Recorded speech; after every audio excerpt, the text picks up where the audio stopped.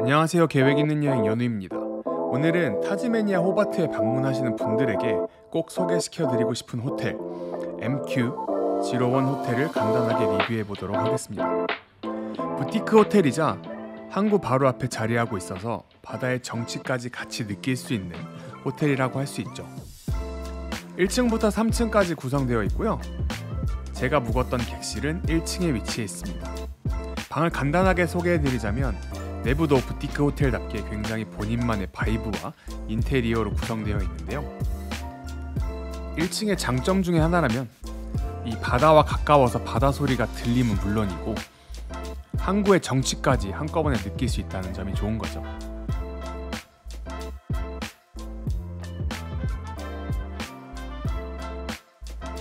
화장실에서 특히나 부티크 호텔다운 면모가 느껴지더라고요. Amenity는 이 발음이 맞는지 모르겠는데 따포스 제품들이 준비되어 있었습니다.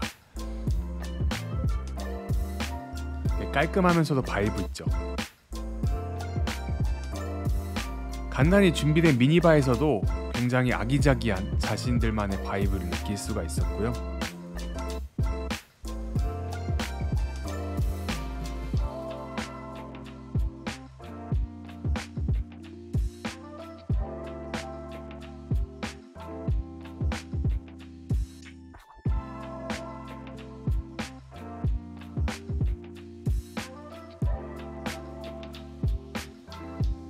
특이점이라면 호주 호텔에서는 자주 찾아볼 수 없는 보스 스피커가 있다 정도랄까.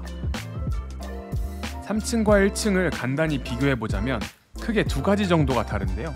첫 번째는 역시나 탁 트인 항구를 보여주는 멋진 전망의 테라스가 그것이고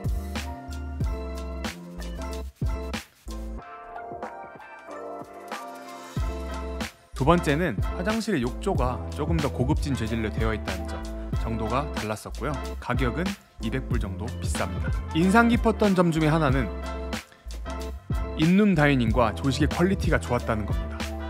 호주 호텔에 묵다 보면 호텔의 컨디션과 별점과는 별개로 음식의 맛이 좀 별로였던 경우가 종종 있는데 여기는 그런 거 없이 호주 특유의 천연 재료들의 맛을 살리면서 밍밍하지 않은 맛까지 잡은 훌륭한 맛의 훌륭한 퀄리티의 음식들이 제공이 되더라고요.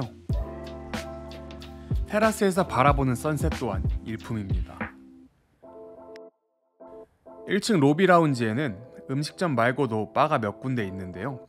저희가 방문했던 곳은 온갖 화석들로 치장된 신비한 분위기의 바였습니다.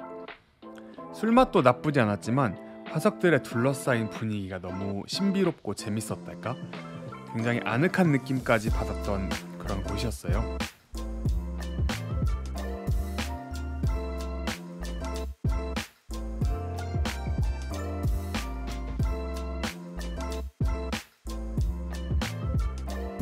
대망의 조식입니다.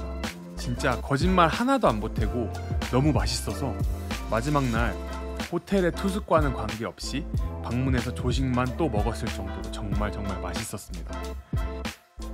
느긋하게 조식을 즐기면서 옆으로 보이는 아름다운 항구 뷰까지 진짜 이건 완벽하다고 할 수 있습니다. 벌써 이제 체크아웃 할 시간이 다가와서 이제 마무리로 MQ1 여기 MQ01 호텔에 대한 총평을 간단하게 말씀드리겠습니다. 그러니까 제가 타즈메니아 처음 와서 처음 묵었던 호텔인데 그거랑은 별개로 진짜 일단 여기 서비스 5점 만점에 6점 진짜 친절해요. 타즈메니아 정보가 없는 분들 이 보통 많을 거 아니에요 여행 오시는 분들 중에 그 사람들한테 하나하나 어디 가면 좋은지 어디로 어떻게 해서 가야 되는지 어떻게 보면 좋은지 이런 것도 다 설명해주고 관심 가져주고 되게 친절하게 친절한 건 너무 그냥 기본적으로 탑재돼 있어요. 여기 좀 놀랐어요. 그냥 그 시드니나 저쪽 그 city 쪽에 main city 쪽에 있는 곳보다 서비스가 너무 너무 좋고요. 일단 주변에 있는 사람 다 너무 친절하고 그 다음에 서비스 서비스 너무 좋고 그 다음에 이 방 컨디션 방 컨디션도 아까 제가 따로 보여드렸겠지만 진짜 이 꼭 3층이 아니어도 1층에서 이 느끼는 이 vibe 여기 밑에서 노래도 올라오고 바닷소리나 배, 배 들락날락 하는 소리가 이 벽에 부딪혀가지고 하울링이 된단 말이에요 그래서 뭐 블루투스 스피커가 있음에도 불구하고 쓸 필요가 없다 이, 이 자연의 소리를 듣고 있으면 막 그냥 힐링이 엄청 돼요. 엄청 되고 자, 룸 서비스랑 조식에 대해서 말씀을 드리자면 좀 흥분을 했는데 그래도 제가 여행 다니면서 되게 좋은 호텔들 많이 가봤잖아요. 근데 최근에 갔던 곳 중에서 제일 기억에 남고 인상 깊은 컨디션이었던 것 같아요. 맛이 너무 짜지도 자극적이지도 않은데 그 호주 스타일로 풀어냈다는 게 무슨 말이냐면 천연 재료의 맛을 가지고 풍미를 극대화시키되 짜거나 조미료 맛이 강하지 않은 약간 그런 맛이거든요. 이게 조식이랑 in-room dining 두 개 다 그랬고요. 조식 앉으려고 이렇게 조식 먹으려고 이렇게 딱 앉아 있었는데 아까 보셨겠지만 옆으로 이렇게 쫙 펼쳐지는 그 항구 만의 그 느낌. 위치 너무 좋고 여기가 딱 그 메인 중심가여가지고 걸어서 웬만하면 다 갈 수 있는 곳에 있단 말이에요. 자, 자 너무 좋았다. 침대 제일 중요한 것 중에 하나가 침대인데 너무 푹 꺼질 정도로 푹신하지도 않은데 푹신하면서도 어느 정도 잡아주면서 크기도 엄청 크고 되게 아늑해가지고 진짜 막 순식간에 8시간 9시간 자버렸는데 너무 좋아요 진짜 너무 좋아요 단 하나 조금 조금 약간 의아한 점이 있다면 화장실이 너무 오픈형이야. 그래서 저기 보면은 문이 그 소변기 소변기 대변기 쪽에만 있고 샤워하는데도 물이 이렇게, 이렇게 경사가 져 있긴 한데 문이 문이 없어서 이렇게 다 튀겨요 밖으로. 그리고 약간 오픈돼 있다 보니까 본의 아니게 약간 소리랑 냄새도 들리는 것 같긴 한데 한데 어차피 여기 오시는 분들 다 서로 연인이거나 혼자 오시거나 아니 친구들끼리 오실 거 아니에요. 그런 건 전혀 문제가 될 거라고 생각하지 않지만 굳이 따지자면 그런 게 조금 하나 있다. 해서 오늘 여기 첫날 그리고 여기 타즈메니아 첫 번째 호텔 리뷰 MQ1 호텔. 진짜 추천. 여기 제가 그- 그 장소에 가면 꼭 어디 묵어보세요 하는 호텔들 많잖아요.